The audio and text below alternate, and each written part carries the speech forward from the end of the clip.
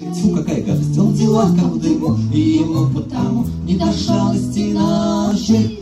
А пошалить хочется очень, мы ведь не так многого хочем. Каждый отец и даже отчим это поймет. Вот вчера, например, я такое имел. Полетать захотелось? Ага. И была, не была два бумажных крыла, мы приделали к телу. И пошли на балкон, пусть на нас и закон поглядят домочадцы. Как с балкона мы, ах, сиганем на крылах, чтоб по воздуху мчаться. Плыли внизу реки поля, вы у всех бы по попадали шляпы, вот красота. Но только бы папа не увидал. Я уже улетал, но отец увидал. Представляете, жалость. Он расширил глаза и схватил меня за... Ну, в общем, то, что ближе попалось. Папа страшно оскал, я от папы скакал, как лошадка в галопе.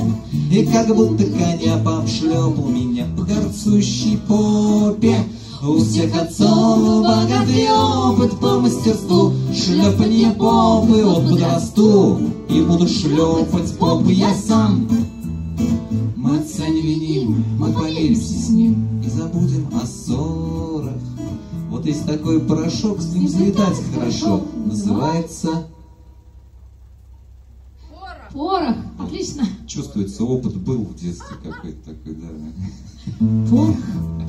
Мне б достать порошка, пол посыпать, слегка кинуть спичечку на пол. Как взлететь я хотел, что ж как сам не взлетел, так залетим вместе с папой. Плыли внизу реки, поля, вы у всех бы пап, попадали шляпы, вот красота. Только бы папа не увидал.